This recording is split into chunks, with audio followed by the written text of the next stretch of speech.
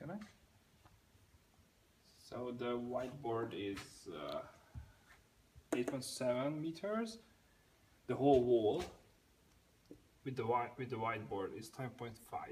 The table is not exactly in the middle, as we can see, because from the left it's 2.95 and from the right it's 4.9.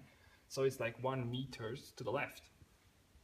And uh, and uh, table is 2.65 long and uh, 0.7 deep. Or yeah.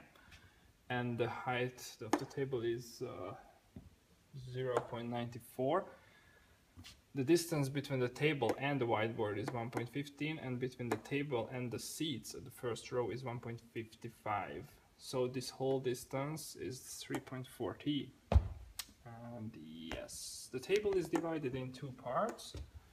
I mean kind of two parts. With this section we can move it up and down with buttons and we can make it 0.37 high or only 0.13 here are some uh,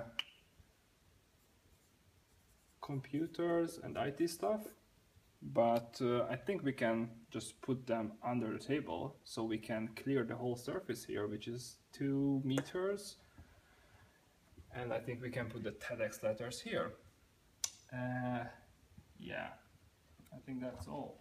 And uh, so here I think we can put here the, the TEDx. We can put this computer somewhere here maybe be behind the letters and because this is uh, 0.7 so if we make the letters 0.5 as uh, as uh, Alfonso said then we can still have like 20 centimeters so I think we can use it. And uh, yeah this is how we can just bring it up or bring it down so it's quite practical.